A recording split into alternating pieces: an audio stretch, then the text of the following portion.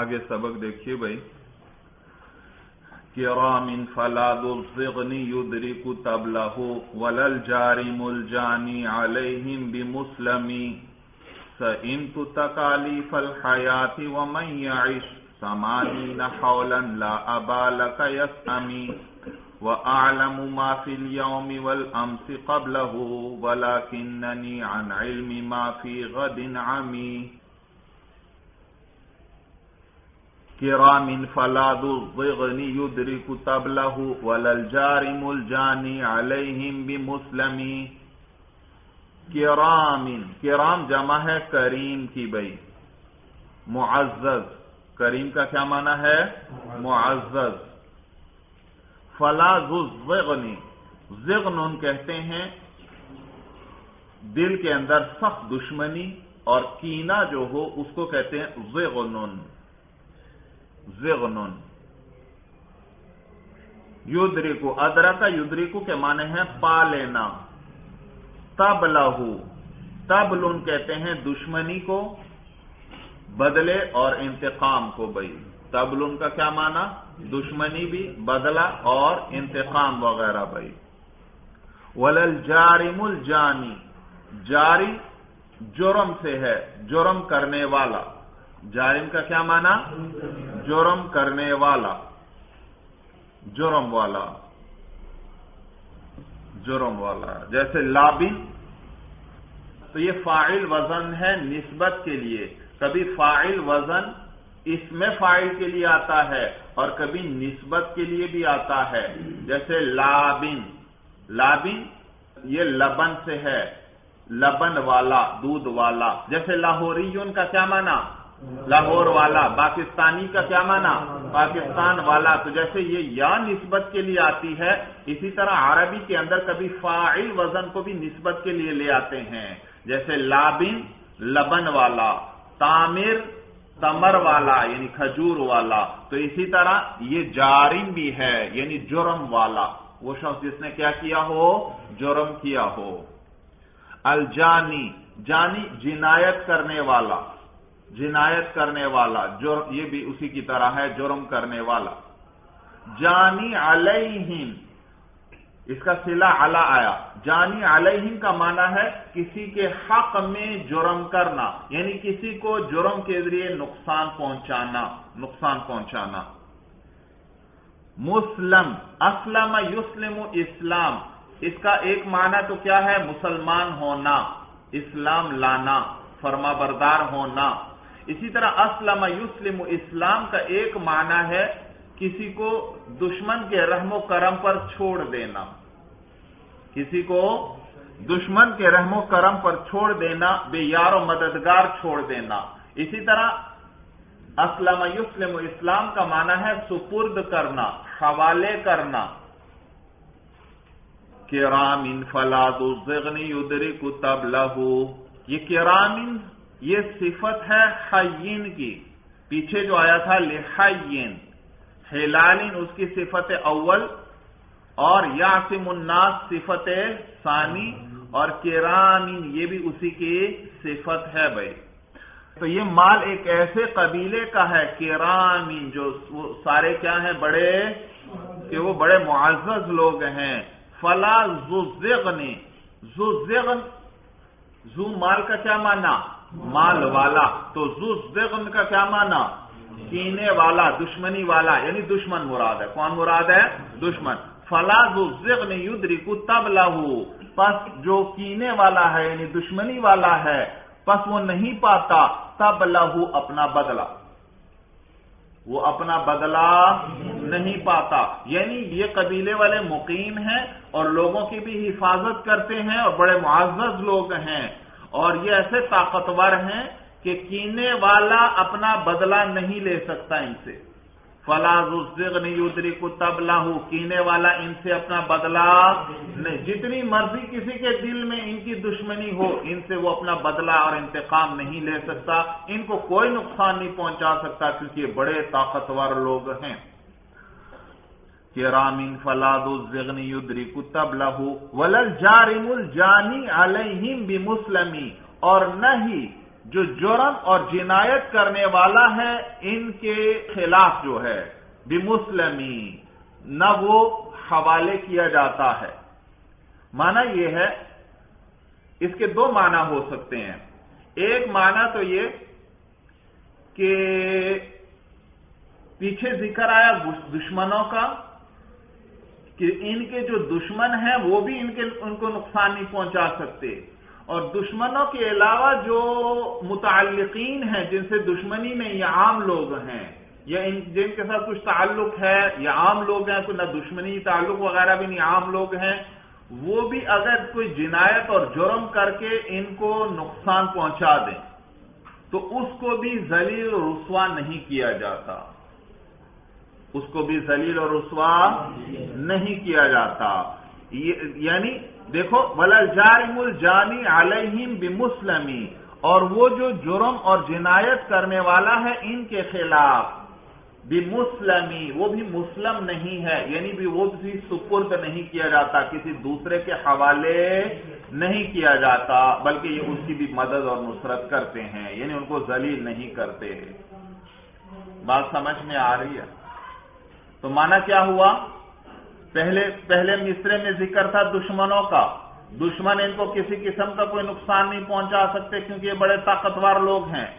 اور اخلاق کے اعتبار سے اتنے آلہ ہے اگر کوئی جرم کر کے ان کو نقصان بھی پہنچا دے تو اس کو بھی یہ لوگ ذلیل نہیں کرتے، کسی کے حوالے نہیں کرتے۔ مانا سمجھ میں آیا؟ تو اس صورت میں مسلم کا کیا مانا کیا؟ زلیل اور رسوا کرنا بھائی زلیل اور رسوا کرنا، کسی کے سپرد کرنا۔ یا مانا یہ کر لیں کہ اگر کوئی ان پر بھروسہ کرتے ہوئے کسی کے خلاف جرم اور جنایت کرتا ہے، بھائی جانی علیہ میں نے کیا ترجمہ کیا؟ جرم کر کے کسی کو نقصان پہنچانا۔ تو دیکھو جو ان کے حلیف ہیں، جن کے ساتھ انہوں نے اتحاد کیا ہوا ہے، اور دونوں نے ایک دوسرے کا لڑائی میں ساتھ دینے کا معاہدہ کر رکھا ہے۔ اب ان کا حلیف جو ہے، وہ بھی ان کے بھروسے پر کسی اور کے نقصان پہنچاتا ہے، جرم کرتا ہے۔ تو ظاہر سی بات ہے، نقصان ان کو بھی ہوا یا نہیں ہوا؟ وہ آپ کے اتحادی ہیں، جب لڑائی ہوگی، نقصان ہوگا، تو ظاہر سی بات ہے، وہ نقصان آپ کو بھی پہنچے گا۔ تو اگر کوئی ان پر بھروسہ کرتے ہوئے جرم کرتا ہے، توجہ ہے، کوئی ان پر بھروسہ کرتے ہوئے اور جرم کس کے خلاف کر رہا ہے، کس کو نقصان پہنچا رہا ہے، کسی تیسرے شخص کو، کسی تیسرے قبیلے کو۔ تو اگر ان پر اعتماد کر کے یہ تو میری پشت پر ہیں، یہ تو میری مدد کے لیے موجود ہیں، تو ان پر بھروسہ کرتے ہوئے کوئی شخص کیا کرتا ہے؟ کسی تیسرے قبیلے پر جرم کرتا ہے اور ان کو نقصان پہنچاتا ہے۔ تو بھی یہ لوگ اس شخص کی مدد کرتے ہیں، اس کو دشمن کے دشمن کے حوالے نہیں کرتے، دشمن کے مقابلے میں اس کو بے یار و مددگار نہیں چھوڑتے۔ مانا سمجھ میں آ گیا۔ تو پہلے مصرے میں کس کا ذکر؟ دشمنوں کا۔ کہ دشمن بھی ان کے خلاف کچھ نہیں کر سکتے۔ اور اپنے بھی اگر کوئی جرم وغیرہ ان سے ہو جائے، تو اس کی بھی یہ مدد کرتے ہیں۔ مانا سمجھ میں آ گیا۔ کرام فلاد الفغن یدرک تب لہو وللجارم الجانی علیہم بمسلمی یہ مال جو ہے ایسے معزز قبیلے کا ہے کہ کینے والا جو ہے وہ ان سے اپنا انتقام نہیں لے سکتا اور نہ ہی جرم اور جنایت کرنے والا ان کے خلاف اس کو بے یار و مددگار چھوڑا جاتا ہے۔ وللجار ملجانی علیہ ہندی مسلمی اور ان کے خلاف جرم اور جنایت کرنے والا جو ہے اس کو بھی بے یار و مددگار نہیں چھوڑا جاتا۔ سئنت تکالیف الحیاتی و من عش سمانین حولا لا ابالک یسعمی سئیما یسعمو کے معنی ہیں اکتا جانا۔ اکتا جانا، کسی کام سے تنگ آ جانا۔ اسی طرح ملا یا ملو کے معنی بھی ہیں تنگ آ جانا اگتا جانا۔ تکالیف الحیاتی، زندگی کی مشقتیں، زندگی کی تکالیف۔ و عش عاش یا عیش کے معنی ہیں زندگی گزارنا۔ سمانین حولن اسی سال۔ حول سال کو کہتے ہیں بھائی۔ حول سال کو کہتے ہیں۔ آپ نے بھی پڑھا ہے زکات کے باب میں۔ کہ حولان حول ہوگا نصاب پر تو پھر زکات آئے گی۔ لا ابالکا۔ لا ابالکا، تیرا باپ نہ ہو یا تیرا باپ گم ہو جائے۔ تیرا باپ نہ ہو، یہ کلمہ ہے بطور ڈانٹ کے استعمال کیا جاتا ہے بھائی۔ لیکن ایسی ڈانٹ جو شفقت والی ہو، جس میں کیا ہو؟ شفقت ہو۔ تو کسی بات پر زور دینے کے لیے یہ کلمہ بولتے ہیں، لا ابا لکا تیرا باپ نہ ہو۔ اور جیسے اردو میں اس کی کوئی مثال، اردو میں جیسے کم وقت وغیرہ کہہ لیں، کسی کو کوئی بات سمجھاتے ہوئے درمیان میں کوئی بڑا کیا لفظ بول دے، کم وقت بول دے۔ اب یہاں دیکھو، ڈانٹ بھی ہے، لیکن ڈانٹ کس قسم کی ہے؟ شفقت والی ہے، جس میں نفرت نہیں ہے بھائی۔ بس کسی بات پر زور دینے کے لیے بعض اوقات انسان لفظ بول دیتا ہے۔ مثلا کوئی بڑا کسی چھوٹے سے کوئی بات کہتا ہے کہ فلاں کام اس طرح کرنا، اور پھر ساتھ ہی کہتا ہے، کم وقت یہ بھول نہ جانا۔ دیکھو، بات پر زور دینے کے لیے ڈانٹ بھی ہے اور ساتھ شفقت بھی ہے بھائی۔ تو یہ اسی طرح ہے، لا ابا لکا۔ تو یہ بھی، یہ کسی بات پر زور دینے کے لیے اور ڈانٹ کے طور پر سختی کرنے کے لیے، لیکن ساتھ شفقت بھی ہو۔ لا ابا لکا، تیرا باپ نہ ہو۔ ہاں پشتوں میں اس کی مثال مل جاتی ہے۔ بہت سی ایسی چیزیں جن کی مثال اردو میں نہیں ملتی۔ بھائی پشتوں میں بھائی، کبھی باتیں کرتے ہوئے بڑا دوسرے کو کہتا ہے کسی بات پر زور دینے کے لیے۔ ورکش یا کبھی بول دیتے ہیں، کور دے ورکشا۔ بولتے ہیں نہیں بولتے؟ اور شفقت کے طور پر ہوتا ہے اور کسی بات پر زور دینے کے لیے ہوتا ہے، تھوڑی سختی بھی۔ ورکشا کا معنی ہے گم ہو جاؤ۔ تو یہ بطور شفقت کے ڈانٹ بھی ہے بات پر زور دینے کے لیے اور ساتھ شفقت بھی ہے بھائی۔ اور اسی طرح کور دے ورکشا، تمہارا گھر گم ہو جائے۔ تو یہ بھی بطور ڈانٹ کے بھی ہے اور اس میں شفقت بھی ہے بھائی۔ پشتو بڑی وسیع زبان ہے۔ اور یاد رکھو، کوئی بھی زبان جتنی قدیم ہوتی ہے، اتنی ہی وسیع ہوتی ہے۔ پشتو کی جو قدیم تر کہتے ہیں، کہ مخطوطات ملے ہیں، وہ کوئی آٹھ سو سال پرانے ہیں۔ اور اردو تو ابھی تین سو سال میں ہوئے ہیں، اس کو بنے ہوئے۔ اور کوئی زبان جتنی قدیم ہوتی ہے، اتنی ہی وسیع ہوتی ہے بھائی، وسیع ہوتی ہے۔ سمجھ میں آیا بھائی؟ ہاں وہ الگ بات ہے۔ پٹھان اپنا ماخذ ضمیر اتنا بیان نہیں کر سکتا جتنا اردو والا کرتا ہے۔ اور پھر سب سے زیادہ اپنا ماخذ ضمیر ہندوستان والے بیان کرتے ہیں۔ ان کو ہر قوم کی اپنی خصوصیات ہوتی ہیں، تو یہ ہندوستان والوں کو اللہ نے بڑی فصاحت و بلاغت دی ہے بھائی، اردو زبان میں۔ اور یہاں کے لوگ جو اردو دان ہیں، یہ بھی متوسط درجے کے اور پٹھان پھر وہ بالکل اس سے کم درجے کے یعنی کوئی کوئی بیان تو کرتے ہیں لیکن عمومی نہیں، جبکہ اردو والے یا ہندوستان والے عمومی اپنا معافی ضمیر بیان کرتے ہیں۔ اور پٹھان کے پاس ایک من علم بھی ہو، لیکن جب وہ بولتا ہی لگتا ہے ایک پاؤ علم ہے اس کے پاس۔ لیکن جتنا بھی آپ دیکھ لیں، پاکستان کے اکثر مدارس میں، کراچی کے بڑے بڑے مدارس میں دیکھ لیں، جو بڑے بڑے مدرسین ہیں، وہ پٹھان ہیں بھائی۔ تو خصوصیات اپنی، ہر قوم کی اپنی اپنی خصوصیات ہوتی ہیں۔ آگے دیکھیے بھائی، یس امی، یہ وہی پیچھے ذکر ہوا سیما یس امو کا معنی اکتا جانا، کسی چیز سے تنگ ہو آ جانا۔ سیم تو تکالیف الحیاتی و میش تمانی لا ابال یس امی شاعر زہیر ابن ابی سلما یہ اسی سال کی عمر میں یہ اشعار کہہ رہا ہے بھائی۔ اور اس کی عمر سو سال سے زائد تھی بھائی۔ تو آگے اب یہ اپنی زندگی کے تجربات اور قیمتی باتیں ذکر کر رہا ہے اور کچھ نصیحتیں بیان کرے گا بھائی۔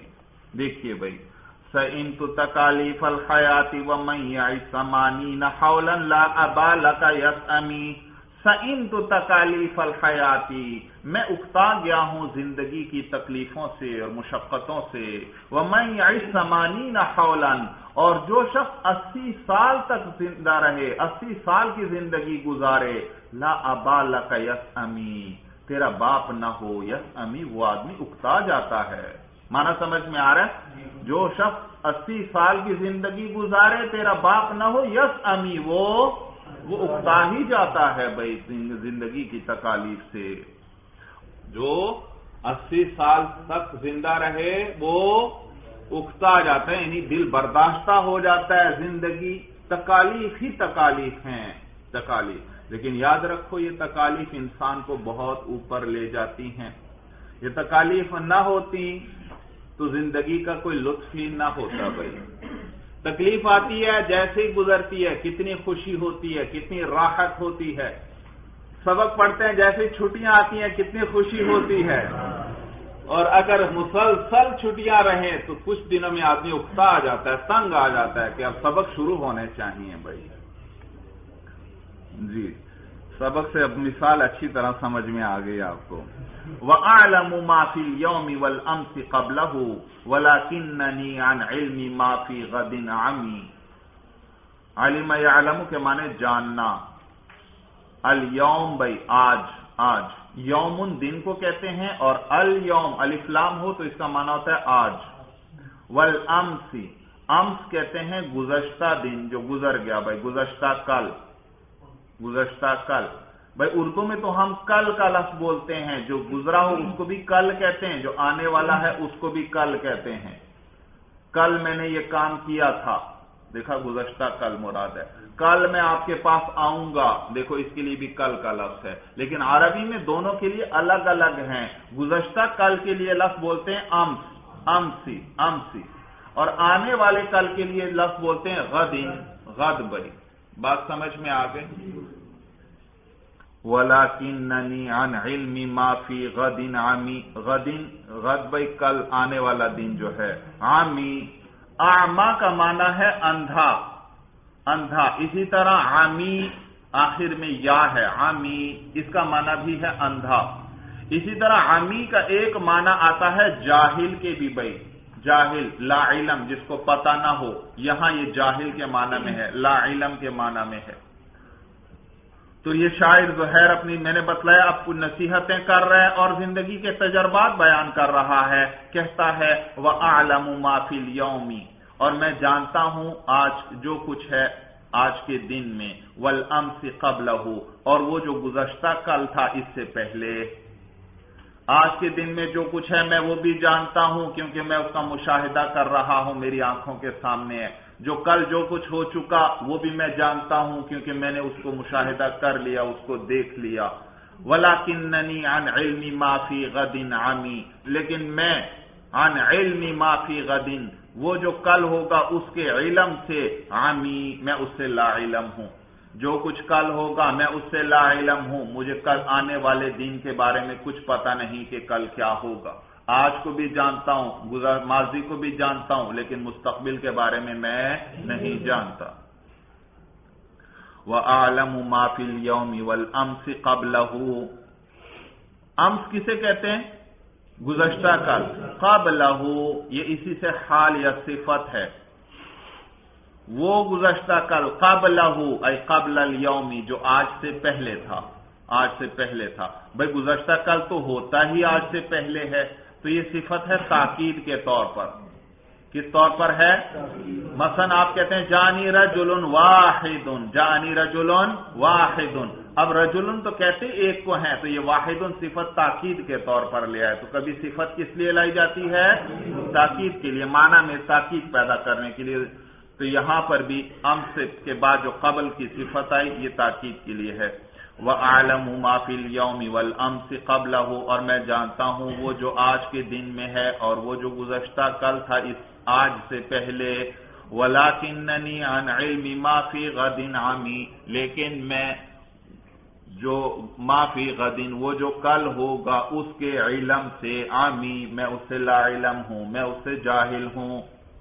رأيت المنايا خط عشواء من تصبت مته ومن تخطئ يعمر فيهرمي. رئی تو را اس کا معنی ہے دیکھنا، اور یہ دیکھنا دو قسم پر ہے، ایک رؤیت بصری ہے، ایک رؤیت قلبی ہے.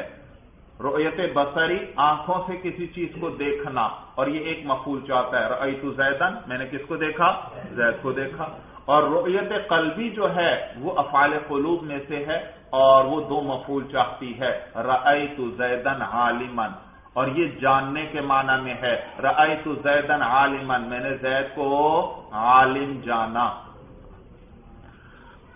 تو یہ افعال قلوب میں سے ہے یہاں پر بھائی شیر میں۔ رعیت المنایا۔ منایا جمع ہے منیتن کی موت کو کہتے ہیں۔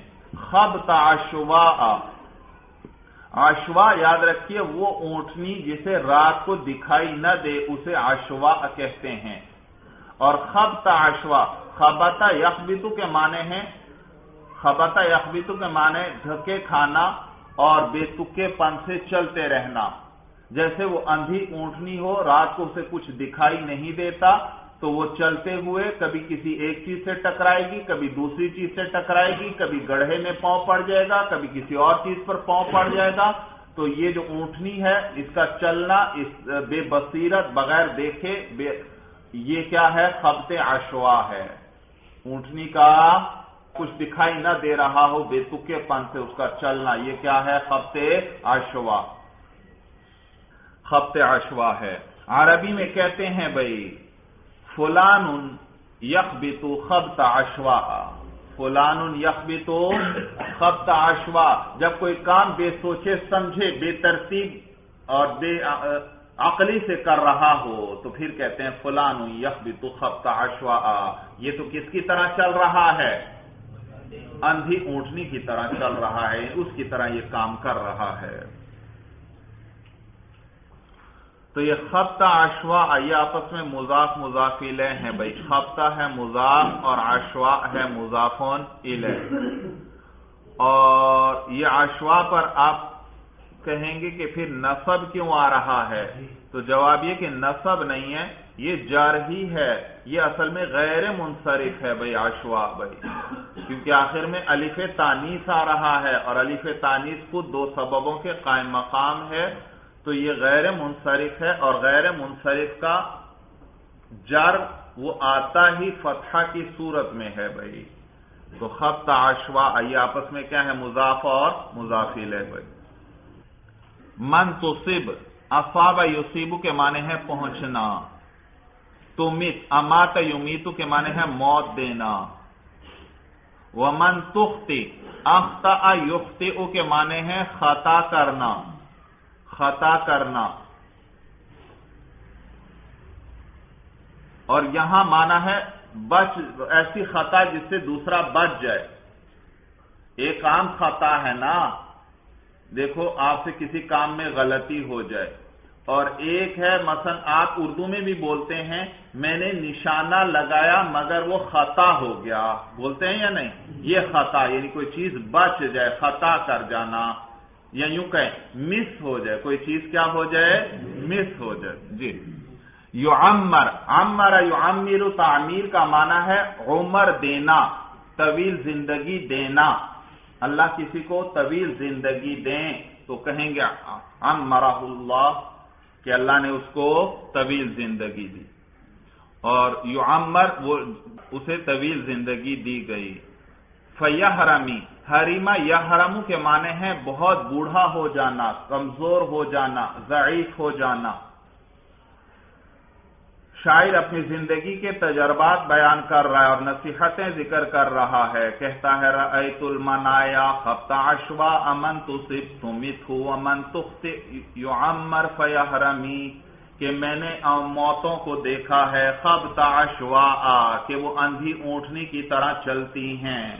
میں نے موت کو دیکھا ہے کہ وہ اندھی اونٹنی کی طرح بے سوچے سمجھے بے تکے پن سے چلتی ہے۔ یعنی موت یہ نہیں دیکھتی کہ یہ شخص بوڑھا ہو گیا ہے یا بڑا بیمار ہے، لہذا اب اس کی جان لینی ہے۔ نہیں۔ کبھی آپ دیکھتے ہیں، کبھی کوئی بچہ فوت ہو رہا ہے، کبھی کوئی لڑکا فوت ہو رہا ہے، کبھی کوئی بوڑھا فوت ہو رہا ہے، کبھی جوان فوت ہو رہا ہے، کبھی مرد فوت ہو رہا ہے، کبھی عورت فوت ہو رہی ہے۔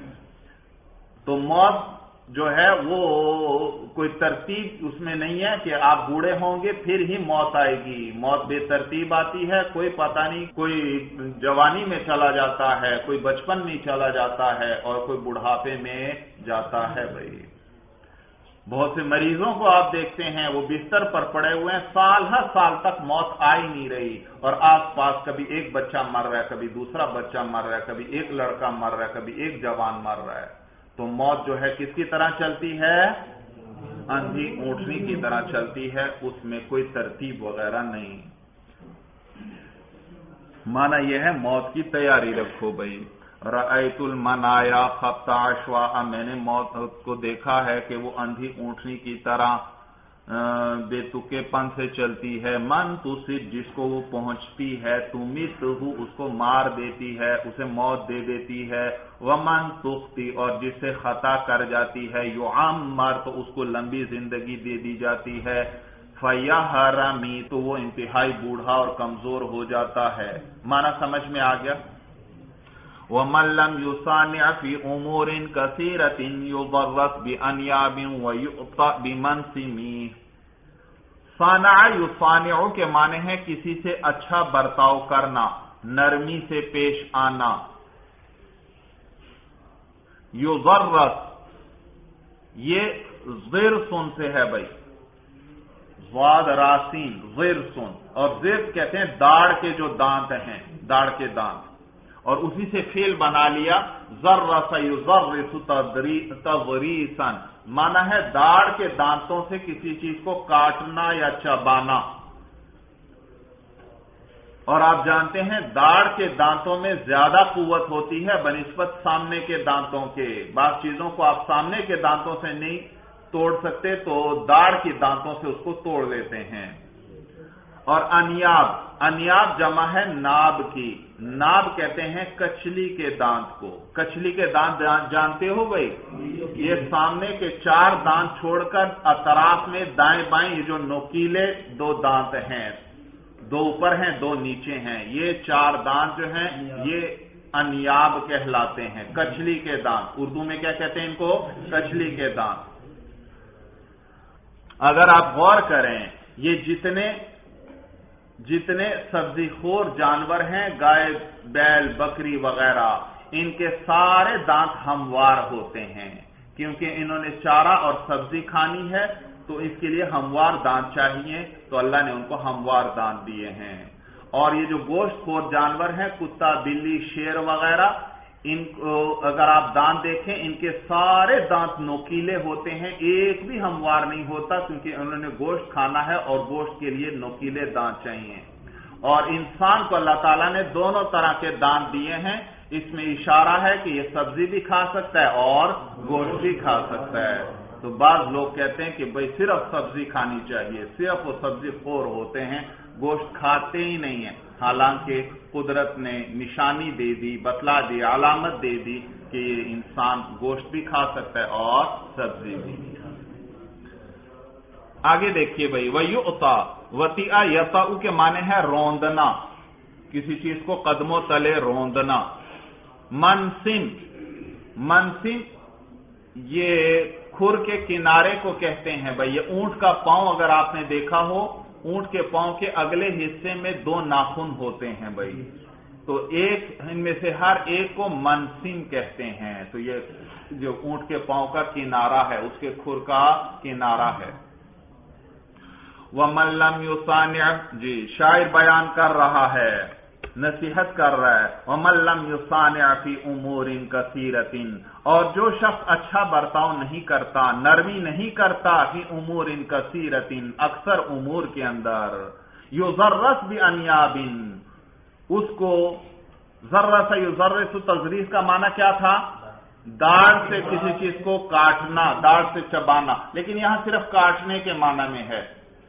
تو یوزر رس بھی انیابین اس کو کاٹا جاتا ہے بھی انیابین دانتوں کے ساتھ۔ تو انیاب بھی دانت کے معنی میں کر لیں بس۔ تو اس کو کاٹا جاتا ہے دانتوں سے۔ جو شخص بہت سے معاملات میں نرمی نہیں کرتا، اس کو دانتوں سے کاٹا جاتا ہے۔ یعنی جب لوگوں کے ساتھ سختی کرتا ہے، تو لوگ بھی اس پر رحم نہیں کرتے۔ کبھی ایک تکلیف پہنچا رہا ہے، اس کو کبھی دوسرا تکلیف پہنچا رہا ہے۔ وہی اتا بھی منسیمی اور اس کو قدموں سے، کھروں سے روندا جاتا ہے یعنی ذلیل کیا جاتا ہے۔ شاعر نے کہا وہ ملم یوسان فی امور ان کا سیرتن اور جو کوئی بہت سے امور میں نرمی نہیں کرتا، یہ نہیں کہ تمام امور میں، کیونکہ تمام امور میں تو نرمی ہو ہی نہیں سکتی۔ بات سمجھ میں آئی؟ ہاں بعض جگہ تو سختی ضروری ہوتی ہے، اس کے بغیر بات ہی نہیں بنتی، لیکن اکثر امور میں انسان کو کیا کرنا چاہیے؟ نرمی سے کام لینا چاہیے۔ وہ ملم یوسان فی امور کثیرت تو شاید نصیحت کر رہا ہے، بھائی، نرمی کرنا زندگی کے معاملات میں زیادہ سختی آپ کے لیے نقصان کا باعث ہوگی، بھائی۔ کہتا ہے وہ ملم یوسان فی امور ان کثیرت اور جو شخص نرمی نہیں کرتا، بہت سے امور کے اندر یوزر رس بھی انیابن اس کو دانتوں سے کاٹا جاتا ہے، دانتوں کے نیچے چبایا جاتا ہے، دانتوں سے چبایا جاتا ہے یعنی اس کو تکلیف دی جاتی ہے وہی اتا بیمن سیمی اور اس کو کھروں تلے روندا جاتا ہے یعنی اس کو ذلیل کیا جاتا ہے ہر مقام پر۔ مانا سمجھ میں آ گیا؟ چلیے بس بهذا هو المرام الله أعلم بحقيقة الكلام